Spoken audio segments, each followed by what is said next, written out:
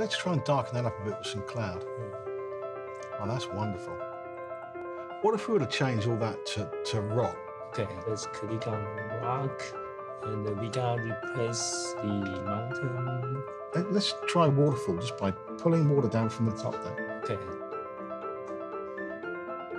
Wouldn't it be great if everybody could be an artist? If we could take our ideas and turn them into compelling images?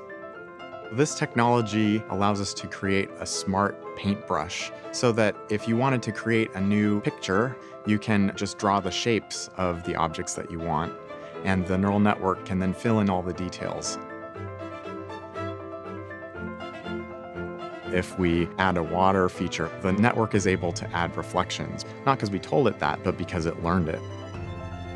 Or if we change the ground to be covered in snow, then it knows that the sky also needs to be a different color. I really think this technology is going to be great for architects, designers, people making virtual worlds to train robots and self driving cars.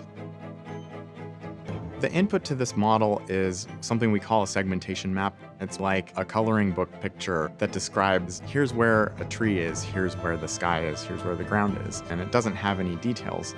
And then the neural network is able to fill in all the texture and shadows and the colors based on things that it's learned from a large database of real world images. I would like to see that tree reflecting in that pond. The real advance here is that we're able to synthesize images with a lot more diversity and more fidelity than we were able to in the past. I really think this technology is going to be great for the dreamers of the world,